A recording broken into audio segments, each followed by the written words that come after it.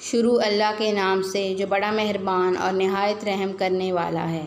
असलकुम प्यारे बच्चों। उम्मीद है आप सब खैरियत से होंगे। आज हमारा उर्दू का नाइन्थ लेक्चर है। आज हम यू डॉट सी में सबक हम के सफ़ा नंबर ग्यारह पे दिए गए सवाल और जवाब करेंगे। सवालात के जवाब कॉपी में लिखिए। सवाल नंबर एक, आपको कौन सा फल पसंद है? सवाल नंबर दो फल, फूल, जानवर सबको किसने बनाया है? सवाल नंबर तीन, जंगल में कौन कौन से जानवर होते हैं? अब आप अपनी यू डॉट सी खोलें और सबसे पहले हम खाका तैयार करेंगे।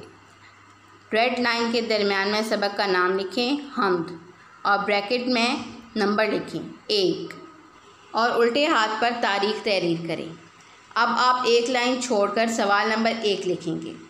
सवाल के लिए हम सीन इस्तेमाल करते हैं और जवाब के लिए जीन यहाँ पे आपको एक रेड मार्जिन लाइन नज़र आ रही है। आपने इस लाइन के सीधी तरफ़ सवाल नंबर एक लिखना है और इसके सामने सवाल लिखना है।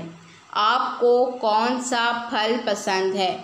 हर लफ्ज़ लिखने के बाद आप थोड़ा सा फासला देंगे और उसके बाद अगला लफ्ज़ लिखेंगे और सवाल मुकम्मल होने के बाद आखिर में सवालिया निशान लगाएँगे। अब दोबारा आपने एक लाइन छोड़ के नीचे मार्जिन लाइन की सीधी तरफ़ जीम लिखना है। जीम का मतलब क्या है? जवाब। और इसके आगे आपने जवाब लिखना है। मुझे आम बहुत पसंद हैं।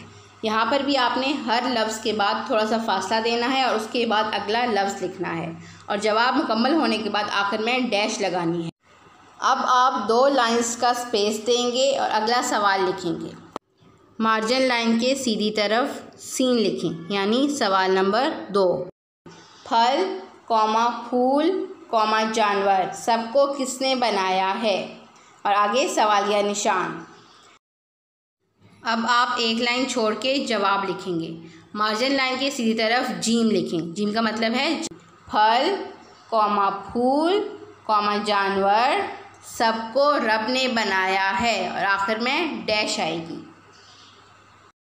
अब दोबारा आप दो लाइंस का स्पेस देंगे और अगला सवाल लिखेंगे।